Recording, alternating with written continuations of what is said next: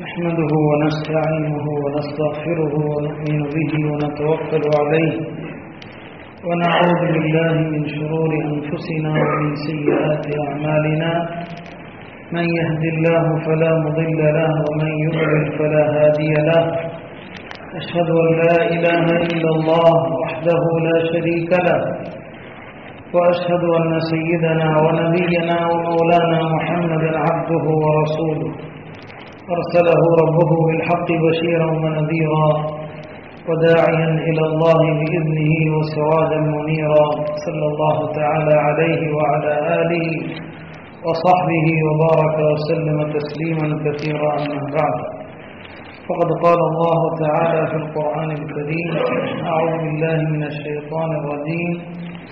بسم الله الرحمن الرحيم ولا يجرمنكم شنآن قوم على ألا تعدلوا يعدلوا هو أقرب للتقوى واتقوا الله إن الله خبير بما تعملون صدق الله مولانا العظيم கணித்திற்குரிய அல்லாஹ் நல்லடியார்களே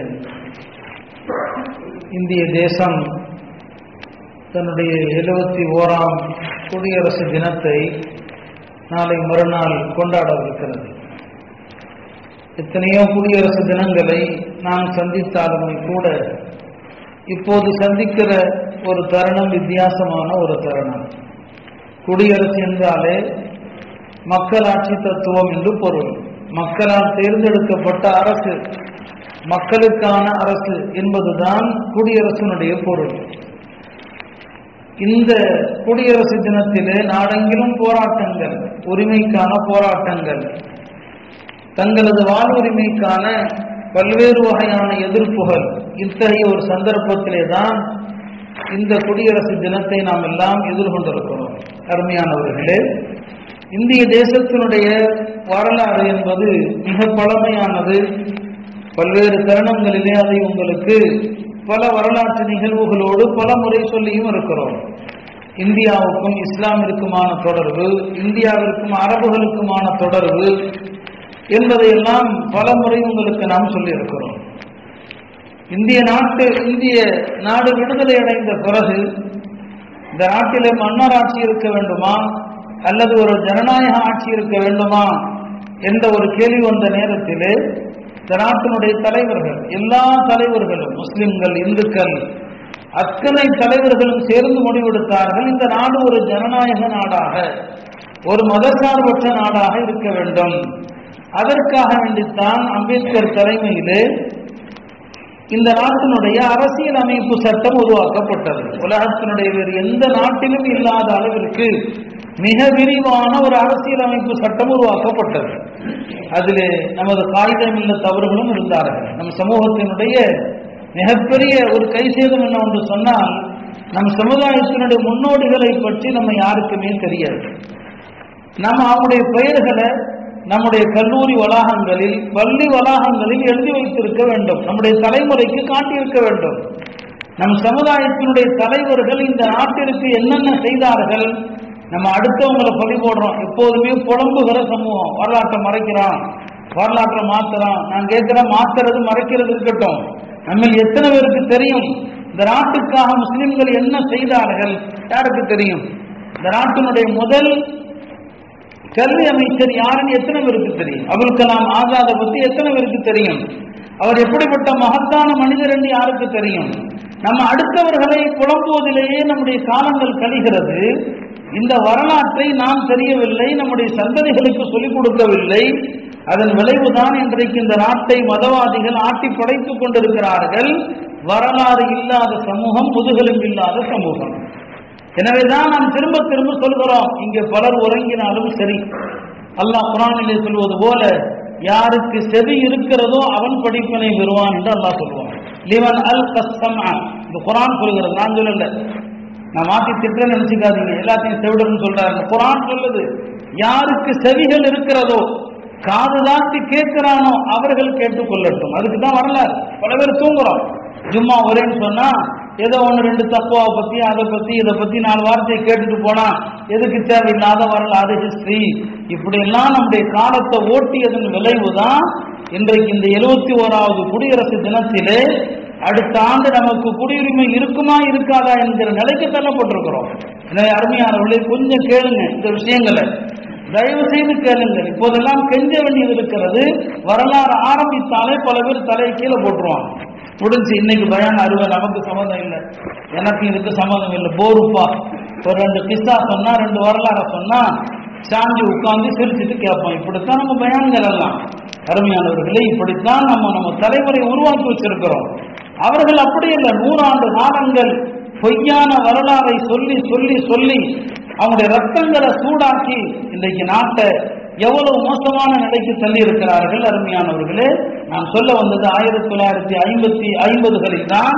ஆயிரத்தி தொள்ளாயிரத்தி ஐம்பது ஜனவரி இருபத்தி ஆறில் தான் இந்தியாவிற்கான ஒரு அரசியலமைப்பு சட்டம் உருவாக்கப்பட்டு அன்று முதல் இன்று வரை இந்த குடியரசு தினம் கொண்டாடப்படுகிறது.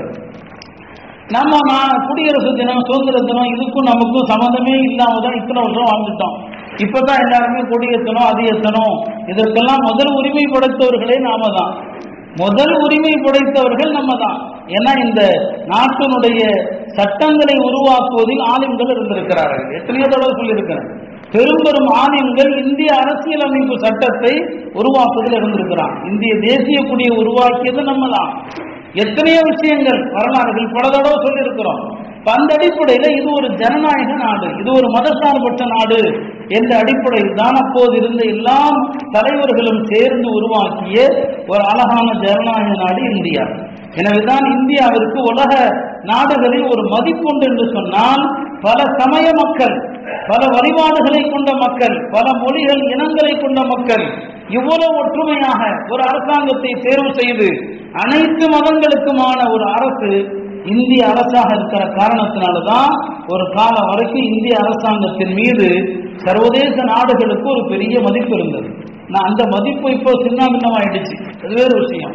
அருமையானவர்களே அந்த அடிப்படையிலே நாம் விளங்க வேண்டும். குடியரசு என்று சொன்னால் ஒரு அரசாங்கம் மதங்களை கடந்து இனங்களை கடந்து எல்லா மக்களுக்குமான உயிர் உடைமை அவர்களுடைய மத வழிபாடு இதற்கு பாதுகாப்பு தருகிற ஒரு அரசு தான் குடியரசு. பேர் என்ன வேணாலும் வச்சுக்கலாம். இஸ்லாமிய அரசு இஸ்லாமிய நாடு இந்து நாடுமே பேர் வச்சுக்கோங்க. அதை பத்தி ஒன்றும் பிரச்சனை இல்லை. இப்போது ஆட்சியில் இருப்பவர்களுக்கு நாங்கள் சொல்றோம். நீங்க இந்து நாடுமே பேர் வைங்க. பெயர்ல பிரச்சனை கிடையாது.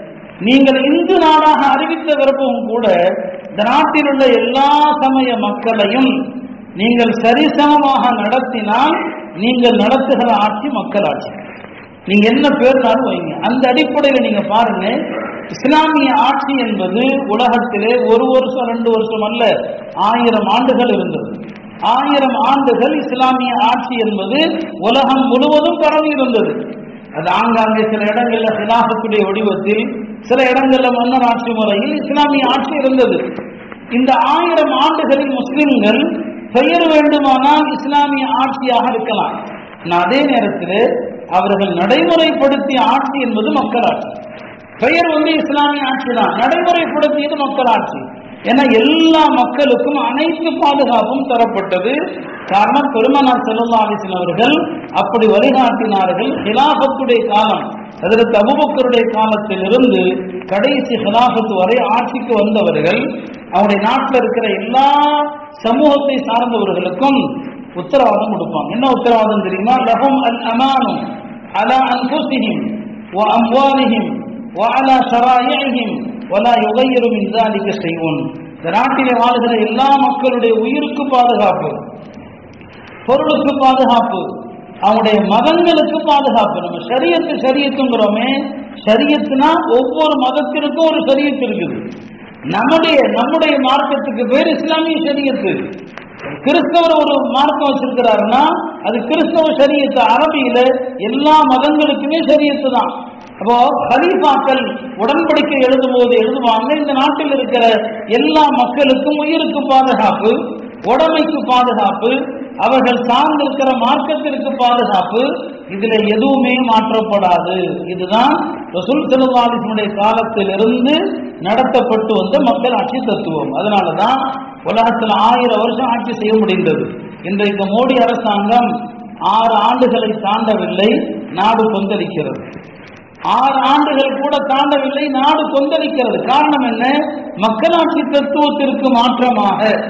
ஒரு அரசு செயல்படுகிற போது அந்த அரசை மக்கள் யாரும் ஏற்றுக்கொள்வது கிடையாது. பெருமனார் செல்லல்லா அவர்கள் சொல்வார்கள் இஸ்லாமிய நாட்டிலே எல்லா மக்களுக்கும் குடியுரிமை தரப்படும். நான் முன்பே விளக்கி இருக்கிறேன் இந்த குடியுரிமைக்கு அரபுல அழகான வார்த்தை என்ன? அகலு ஜிம்மா இந்த ஜிம்மாங்கிற வார்த்தை கண்ணியமான வார்த்தை. ஜிம்மா என்று சொன்னால் விளக்கம் சொல்வார்கள் அந்த மக்களுக்கு அல்லாவுடைய புறத்திலிருந்து பாதுகாப்பு இருக்கிறது. பெருமானாருடைய புறத்திலிருந்து பாதுகாப்பு இருக்கிறது. முஸ்லிம்கள் புறத்திலிருந்து பாதுகாப்பு இருக்கிறது. இந்த மூன்று வகை பாதுகாப்பை பெற்ற மக்கள் அகலு ஜிம்மா என்று சொல்லுவாங்க ரசூல் ஸல்லல்லாஹு அலைஹி சொல்லுவாங்க யாராவது இஸ்லாமிய நாட்டில் வாழ்கின்ற ஒரு முஸ்லிம் அல்லாத குடிமகனை கொலை செய்தால் நாளை மறுமையிலே சொர்க்கத்தின் வாடையை கூட அவன் நுகர யாருன்னு ஒரு முஸ்லீம் அல்லாதவர். ஒரு முஸ்லீம் கொலை செஞ்சிட்டார். அவர் முஸ்லீம். முஸ்லீம் அல்லாதவரை கொலை செஞ்சா சொர்க்கத்தின் வாடையை கூட அவன் நுகரமாட்டான். இங்கதான் இஸ்லாம் மத பாகுபாடுகளை கலைந்து நீ முஸ்லீம் என்பதற்காக முஸ்லீம் அல்லாதவர்கள் மீது அநியாயம் செய்ய உனக்கு அனுமதி இல்லை. அவ்வளவு ஏன்? முஸ்லிம் அல்லாதவர்களுக்கு சிறு தொந்தரவு கொடுக்க கூடாது சொன்னார்கள் மன் ஆதாதின்மியன் இஸ்லாமிய நாட்டில் வாழுகின்ற முஸ்லிம் அல்லாத ஒரு பிரஜைக்கு ஒரு குடிமகனுக்கு யாராவது தொந்தரவு செய்தால் அந்த குடிமகனுக்காக மறுமையிலே நான் வாதாடுவேன். நான் வாதாடுவேன்னு சொன்னாங்க நபி ஸல்லல்லாஹு அவர்கள். இதைத்தான் பின்னால் வந்த சலீஃபாக்கள் அத்தனை பேரும் பின்பற்றினாங்க. முஸ்லீம் நாட்டில் அந்த நேரத்தில் யார் இருந்தாங்க? கிறிஸ்தவர்கள் இருந்தாங்க யூதர்கள் இருந்தாங்க. மஜூசிகள் இருந்தாங்க. இந்த இந்து சமூகம் அந்த பிராந்தியத்தில் கிடையாது. அரபு பிராந்தியத்தில் இந்து சமூகம் இல்லை. அன்றைக்கு சனாபத்துடைய காலங்களில் இஸ்லாமிய ஆட்சி நிலையில் வாழ்ந்தவர்கள் யூதர்களா இருப்பாங்க கிறிஸ்தவர்களா இருப்பாங்க மஜூசிகளா இருப்பாங்க. இவர்களுக்கு அத்தனை உரிமைகளையும் தரப்பட்டது. எல்லா ஆட்சி காலத்திலையும் அவங்களுடைய உயிருக்கு பாதுகாப்பு. உமர்தானுடைய காலத்தில் ஒரு முஸ்லீம் ஒரு கிறிஸ்தவரை கொலை செய்து விட்டார். ஒரு கிறிஸ்தவரை கொலை செய்து விட்டார். வழக்கு வருகிறது. உமர் சொன்னார்கள் கொல்லப்பட்டவருடைய வாரிசு யார் என்று பாருங்கள். கொல்லப்பட்டவர் ஒரு கிறிஸ்தவர் வாரிசியார். இஸ்லாமிய சட்டப்படி ஒருவர் மற்றவரை கொலை செய்து விட்டால் கொல்லப்பட்டவருடைய வாரிசுகள் யாரோ? அவர் கைவசம் கொலையாளியை ஒப்படைத்தார் அவங்க என்ன வேணாலும் செஞ்சுக்கலாம். அவங்க விரும்பினா படிக்கு படி கொல்லலாம். விரும்பினா அவங்கள்ட்ட இருந்து நஷ்டஈடு வாங்கலாம். உமர்லான சொன்னார்கள் இந்த கொல்லப்பட்ட கிறிஸ்தவருக்கு வாரிசு யாருன்னு பாருங்க. வாரிசு யாருன்னு பார்த்தா கொல்லப்பட்டவருடைய அந்த கிறிஸ்தவருடைய மனைவி கற்பமா இருக்கிறாங்க. வாரிசு வயிற்றுக்குள்ளதான் இருக்குது. வாரிசு வயிற்றுல இருக்குது. என்ன உத்தரவு தெரியுமா? சட்டம் இந்த குழந்தை பிறந்து பருவம் அடைகிற வரை இந்த கொலை செஞ்ச முஸ்லீமை சிறையில் எடுத்துருங்க அந்த குழந்தை பிறந்து அவன் வாலிப வயசை அடைகிற போது அவன் என்ன முடிவெடுக்கிறானோ அதான் முடிவு. இதுதான் சட்டங்க இஸ்லாமிய நாட்டில். அதுதான் நடந்துச்சு. இந்த கொலையாளி முஸ்லீம் சிறையில் அடைக்கப்படுறான் யோசிச்சு பாருங்க எத்தனை வருஷம்? ஒரு மனிதன் பருவம் அடைவதற்கான வயது பதினஞ்சு வயசுனா பதினஞ்சு வயசு பதினஞ்சு ஆண்டுகள் ஒரு முஸ்லீம் எங்க இருக்கிறான்? சிறையில் இருக்கிறான். பிறகு அந்த பெண் குழந்தை பெற்று அவன் பருவமடைந்த பிறகு அவன்கிட்ட கேட்கப்படுது உன் தந்தையை கொலை செய்தவன் விஷயத்துல என்ன முடிவெடுக்கிறாய்? அவன் சொன்னா நான் பழிக்கு பண்ணி தான் வாங்குவேன். தந்தையை கொலை செஞ்சவனை. ஆளை கொண்டு வந்து நிறுத்தப்பட்டது. பதினஞ்சு வருஷ சிறை வாழ்க்கைக்கு பிறகு அவன் கதை முடிக்கப்படும். இப்படி ஒரு நீதியை நீங்க எங்க பார்க்க முடியும்? எந்த நாட்டில் இப்படி ஒரு நீதியை பார்க்க முடியும்?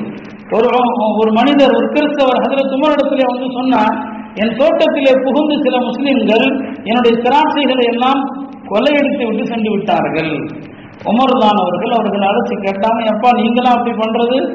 அவங்க சொன்னாங்க உமர் அவர்களே நாங்கள் ரொம்ப பசியில் இருந்தோம். அவசரத்துல போனோம் நாங்க திராட்சை எடுத்துக்கிட்டோம்னு சொல்லி. உமர் ரபிலான் அவர்கள் உடனே உத்தரவிட்டாங்க எவ்வளவு திராட்சைகளை பறித்தீர்களோ அதற்கான பணத்தை கொடுத்துருங்கன்னு சொல்லி. அதனாலதான் இப்படி ஆட்சி நடந்ததுனாலதான் இன்னைக்கு அரசாங்கம் வந்து மக்கள்கிட்ட இருந்து வரிய வசூலிப்பதுல எவ்வளவு கடுமையை காட்டுதுன்னு உங்களுக்கு தெரியும். எல்லாருமே ரெண்டு கணக்கு வச்சுட்டு தான் இருக்கிறான். எல்லாத்துக்கும் ரெண்டு கணக்கு. யாரும் முறையா வரி கட்டுறது இல்லை ஏன்னா அவ்வளவு அநியாயம் நடக்கிறதுனால. அன்னைக்கு நேர்மையா நடந்ததுனால ஒரு முஸ்லீம் அல்லாத ஒருத்தர் அதில் உமர்கிட்ட வந்து சொன்னாரு உமர் அவர்களே என்னுடைய தோட்டம் என்னுடைய விவசாய நிலத்துல நிறைய மகசூல் நிறைய அறுவடை ஆகுது. ஆனால் நீங்கள் வாங்குற வரி ரொம்ப கம்மியாக இருக்குது. நான் வரி கொஞ்சம் அதிகமாக தர்றேன். வரி அதிகமாக தரேன் ஏற்றுக்குங்க நீங்கள் வாங்குறது ரொம்ப கம்மியாக இருக்குது எனக்கு விளைச்சல் அமோகமாக இருக்குது. உமர் சொன்னார்கள் எனக்கு அப்படி அனுமதி இல்லையப்பா. ஆரம்பத்தில் என்ன ஒப்பந்தம் செய்தோமோ அந்த ஒப்பந்தத்திற்கு மேல் ஒரு திரகம் கூட வாங்குவதற்கு ஒரு திரகம் அதிகமா வாங்குவதற்கு என்னுடைய மார்க்கம் அனுமதி அளிக்கல. உனக்கு அல்லாஹ் வரக்க செஞ்சிருக்கிறான். நீ எப்போதும் கட்டுவதை கட்டுன்னு சொன்னான். இப்படிதான் ஒரு அரசாங்கம் இருக்கணும். ஒரு அரசு இப்படி இருந்துன்னு சொன்னா மக்கள் வரிய தாராளமா கட்டுவாங்க இறங்கி வந்து கட்டுவாங்க. இப்படி இருந்தது இஸ்லாமிய ஆட்சி. ஹென்ஸ்ங்கிற பகுதியில அபு உபைதா தலைமையில அங்கே கிறிஸ்தவர்கள் இருக்கிறார்கள். முஸ்லிம்களுடைய அணி அங்கே இருக்கிறது. ஒரு கட்டத்தில் ஹிம்ஸில் உள்ள முஸ்லிம் படைகள் எல்லாம் டெமிஸ்க்கு போக வேண்டியது இருக்கிறது அங்கே உள்ள ரோமானிய அரசை எதிர்த்து போர் செய்ய வேண்டியது இருக்கிறது ஹிம்ஸில் உள்ள பாதிரியார்கள் வந்து சொன்னாங்க நீங்க எல்லாம் போகாதீங்க. இந்த கிறிஸ்தவ படைகள் அநியாயக்காரர்கள். நீங்க போயிட்டா உள்ள வந்துருவான். நீங்க எதுக்கு இங்கேயே இருந்துக்குங்க? சொன்னாங்க. அவர்கள்ட்ட என்னென்ன பலம் இருக்குது? நாங்க உங்களுக்காண்டி உளவு பார்த்து சொல்கிறோம். யார் சொல்றாங்க? கிறிஸ்தவர்கள் முஸ்லீம்கள்ட்ட சொல்றாங்க அவங்கள பத்தி உளவு பார்த்து நாங்க செய்தி சொல்றோம்னு சொன்னாங்க. இப்படி இருந்தது. கடைசியில ஒரு கட்டத்துல அங்கிருந்த முஸ்லிம்கள் வெளியேற வேண்டிய கட்டாயம் வந்த நேரத்துல முஸ்லிம்கள் என்ன பண்ணாங்க? அந்த கிறிஸ்தவர்கள்ட்ட இருந்து வாங்கின வரிய பூரா திருப்பி கொடுத்தாங்க. நாங்க பாதுகாப்புக்கு தான் வாங்கினோம். பாதுகாப்பு கொடுக்க முடியல. வரிய போற பிடிங்கன்னு கொடுத்த பிறகு என்ன நடந்துச்சு? ஹில்ஸ்ல இருந்து திமிஷ்குக்கு முஸ்லீம் படைகள் வெளியேறாங்க.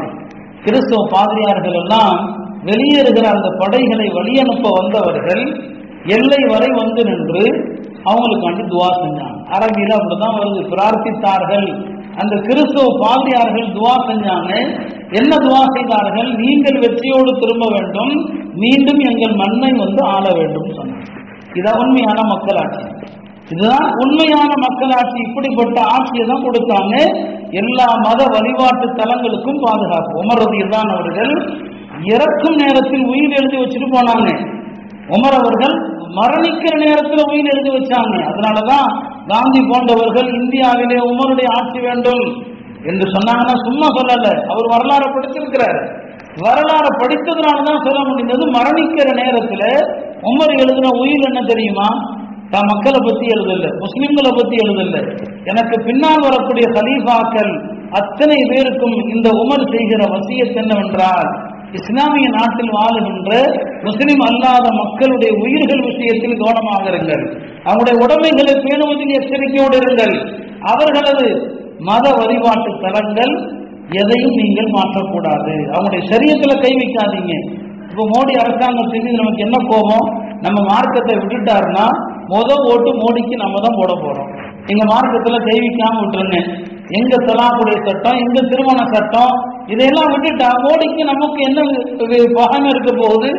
அப்ப உமர் வந்து கடைசி நேரத்தில் எழுதி வச்சுட்டு போனாங்க எந்த வழிபாட்டு தலத்திலையும் கை வைக்க கூடாது. முஸ்லீம் அல்லாதவருடைய மதத்துல கை வைக்க கூடாது.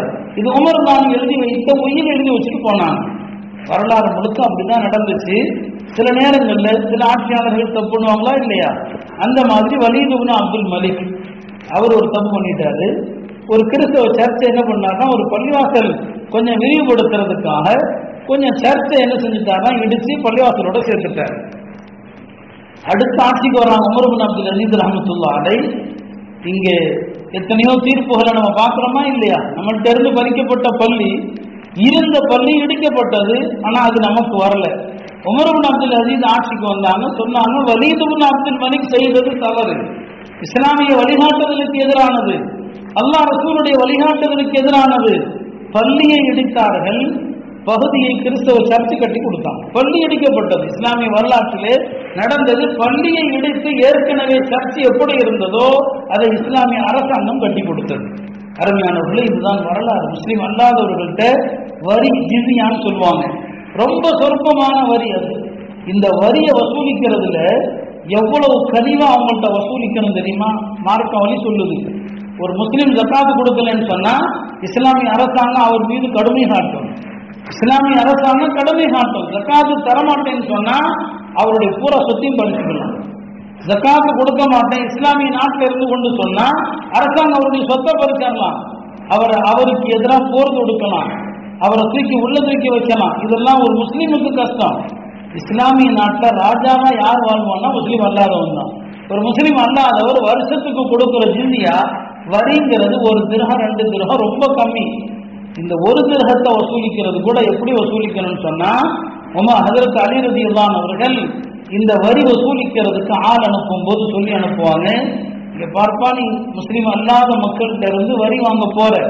அந்த மக்கள் எங்கள்கிட்ட காசு இல்லைன்னு சொன்னா நீ அதை வித்து கொடு இதை வித்து கொடுலாம் சொல்லக்கூடாது. வீட்டை வித்து வரிய கொடு உன் ஆடையை வித்து வரிய கொடு வீட்டில் உள்ள உணவுப் பொருளை விட்டு வரிய கொடுன்னு சொல்லக்கூடாது. இந்த ஒரு கிரகத்தை வசூலிக்கிறதுக்காக அவர்களை மணிக்கணக்கில் நிக்க வைக்க கூடாது சொன்னார்கள் இந்த முஸ்லிம் அல்லாத மக்களோடு நாம் மன்னிக்கும்படி ஏவப்பட்டிருக்கிறோமே தவிர அவர்களை தண்டிக்கும்படி அல்ல. என்னுடைய கட்டளைக்கு மாறு செய்தால் அல்லாஹ் உன்னை தண்டிப்பானே தவிர என்னை தண்டிக்க மாட்டான். இந்த வருஷத்துக்கு ஒரு தடவை கொடுக்கக்கூடிய சொற்பமான வரி. இந்த வரியை வசூலிப்பதிலே கூட அவர்கள் அவ்வளவு கனிவாக நடந்து கொண்டாங்க. அப்படி யாராவது வரி தர மாட்டேன்னு சொன்னா விட்டுருங்க மன்னிச்சிருங்க. அவங்கள மன்னிச்சிருங்க அவங்களுக்கு தண்டனை கிடையாது. ஆனா ஒரு முஸ்லீம் ஜக்காத்து தரமாட்டேன்னு சொன்னா அவருக்கு தண்டனை உண்டு. இதான் இஸ்லாம் இதான் மக்களாட்சிங்கிறது.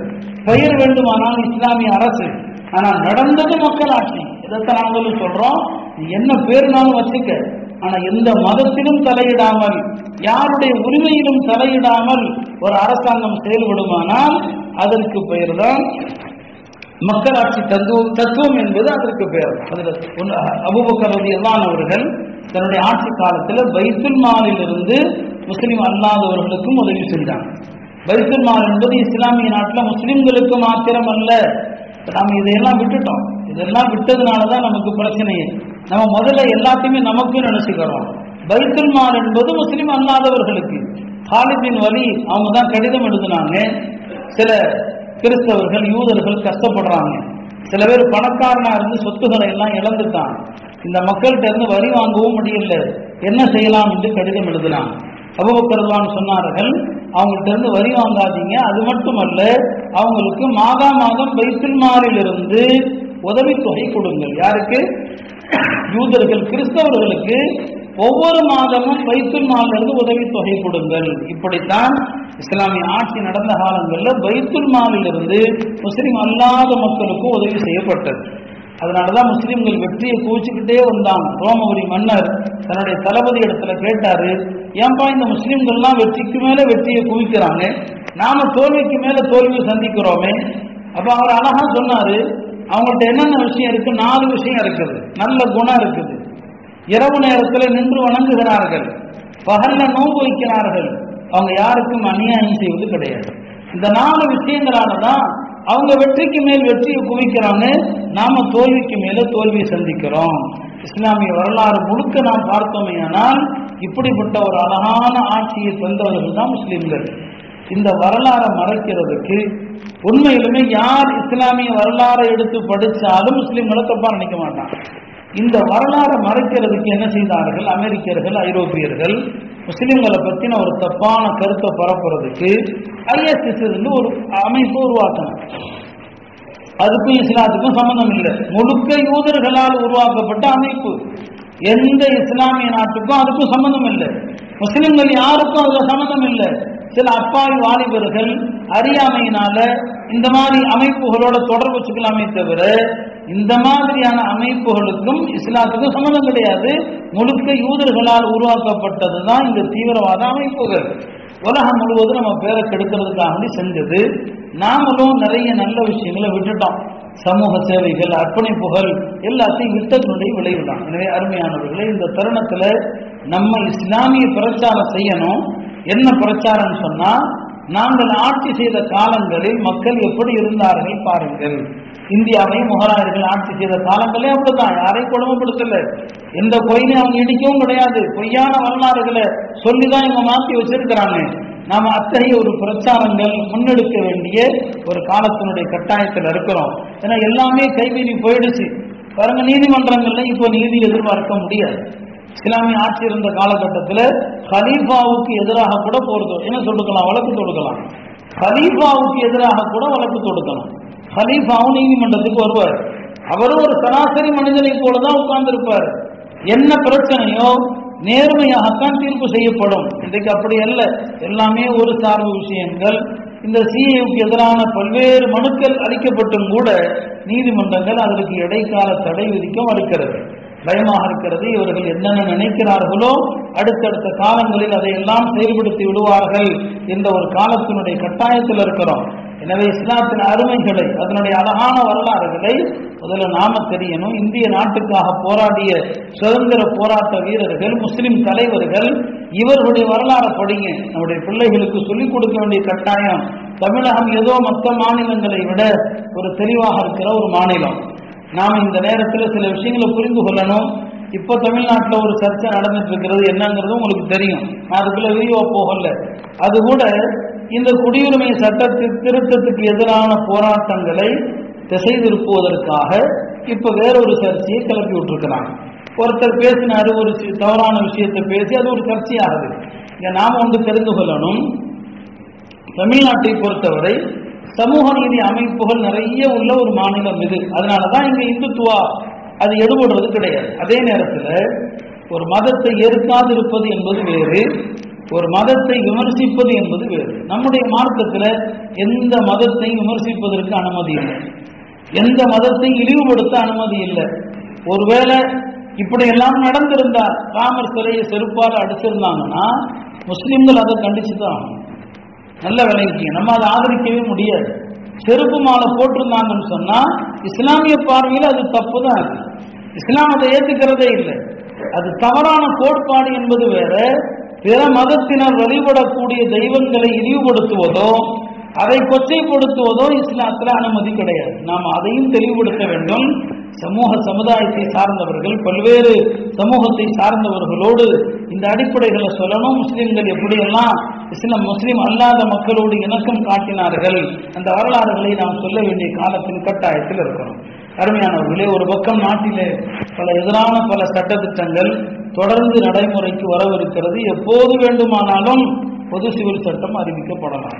ஏன்னா இப்ப மத்தியில் இருக்கிற அரசாங்கம் எல்லாமே யாரும் எதிர்பாராத தருணத்துல கொண்டு வர்றதுதான். அப்படிதான் எல்லாமே நடந்துச்சு. ஒரு ஆறு மாசத்துக்குள்ள நடந்தது எல்லாம் கொஞ்சம் அலசி பாருங்க எல்லாம் உடனுக்குடன் தான். அடுத்து அதுவும் வரலாம். எல்லாம் பாதுகாக்கணும். ஆனா இப்படி அடுத்தடுத்து வரக்கூடிய இந்த நேரத்திலையும் கூட நம்ம சமுதாயம் எப்படி நாம் வாழ்ந்துட்டு இருக்கிறோம்?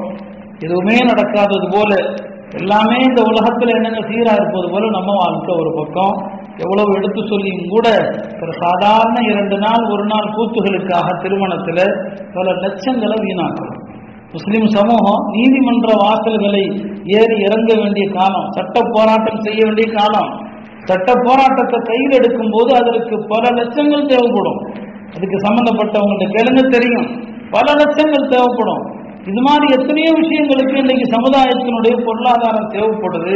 ஆனால் அந்த பொருளாதாரத்தை நாம் எவ்வளவு சீரழிக்கிறோம்? சாதாரண விஷயங்களுக்காக எவ்வளவு சீரழிக்கிறோம்? சின்ன சின்ன விஷயங்களுக்கு ஒரு பொண்ணு மாப்பிளை உட்கார வைக்கிறதுக்கு போய் நாலு லட்சம் அஞ்சு லட்சம் செலவு பண்றோம். இது மாதிரி முட்டாள் சமூகம் உலகத்தில் யார் இருக்க முடியும்? ஆபத்து இவ்வளவு நெருங்கி வருது. இந்த நேரத்தில் கூட யோசிக்காம இந்த சமூகம் வந்து திருமணங்கள் வீடு கட்டுறதுலேயே தன்னுடைய காலத்தை கடத்துதுன்னா எவ்வளோ பெரிய கை சேரும் ரசூல் ஸல்லல்லாஹு அவர்கள் இந்த உலகத்தை விட்டு பிரியும் வரை மூன்று நாட்கள் வயிறார சாப்பிட்டதில்லை என்று ஆயிஷா சொன்னாங்க. உலகத்தை மட்டும் பிரிகிற வரைக்கும் மூன்று நாட்கள் வயிறு நிரம்ப சாப்பிட்டது கிடையாது. நாம ஒரு நேரமாவது வயிறு நிரம்ப சாப்பிடாத நேரம் இருக்குதா? ஒரு நேரமாவது. மூணு நேரமும் புடி புடின்னு பிடிக்கிறதா மூணு நேரமும் குடிக்கிறது. இந்த கெட்ட பாத்திரமே வயிறு தான். ரசூல் ஸல்லல்லாஹு அவர்கள் மூன்று நாட்கள் கூட தொடர்ந்து வயிறு நிரம்ப சாப்பிட்டதில்லை. மதீனா வந்ததிலிருந்து மூத்தஹர வரைக்கும். அவ்வளவு பெரிய வாழ்க்கை எளிமையான வாழ்க்கை. எல்லாம் இருந்துச்சு. அப்படிப்பட்ட வாழ்க்கையை விரும்பல. எல்லாமே இருந்தும் கூட அந்த ஆடம்பர வாழ்க்கையை விரும்பல. ரசூல் ஸல்லல்லாஹு அலைஹி அவர்கள் ஒரு நாள் மதிய நேரத்தில் வீட்டை விட்டு வெளியே வருவார்கள். இப்போ அபுபக்கர் உமரும் வெளியே நிற்பாங்க. ஏன் நிற்கிறீங்கன்னு கேட்பாங்க. அவங்க ரெண்டு பேரும் சொல்லுவாங்க யாரும் சொல்லலாம் பசினால வெளியே வந்துட்டோம். வீட்டில் இருக்க முடியல. நானும் அதனால தான் வந்தேன். வாங்க போகலாம்னு சொல்லி ஒரு அன்சாரி சஹாபி வீட்டுக்கு அழைச்சிட்டு போவாங்க. அந்த அன்சாரி சஹாபி பெருமானாரையும் அபுபக்கர் உமரையும் கண்டதோடு மிகுந்த மகிழ்ச்சியிலே வரவேற்று இருக்கிற பேரிச்சம்பழங்களை வைப்பாங்க. வர ஒரு ஆட்டை அறுத்து விருந்து கொடுப்பாங்க. பெருமானார் செல்லல்லா அலிஸ்லாம் அதை சாப்பிட்ட பிறகு தன் தோழர்களுக்கு சொல்வார்கள் நீங்கள் சாப்பிட்ட இந்த பேரிச்சம்பழம் இந்த இறைச்சி இது குறித்தும் அல்லாஹிடத்திலே நாளை வினவப்படுவீர்கள் பல நாட்களுக்கு பிறகு சாப்பிட்றாங்க அங்கேயே நினைவூட்டுறாங்க இதை பத்தி அல்லாட்ட கேட்கப்படுவீங்கன்னு சொல்லி. அப்ப நாம மூணு நேரமும் வயிறார சாப்பிட்றோம். நம்ம திருமணங்கள்ல ஆடம்பரங்களை செலவு பண்றோம்.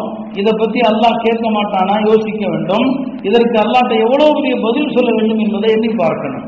எனவே அருமையானவர்களே முஸ்லீம் சமூகம் இந்த தூக்கத்திலிருந்து ஆழ்ந்த உறக்கத்திலிருந்து விழித்து நம்முடைய வரலாறுகளை படிக்கணும். இந்திய சுதந்திர போராட்ட வரலாறை படிக்கணும்.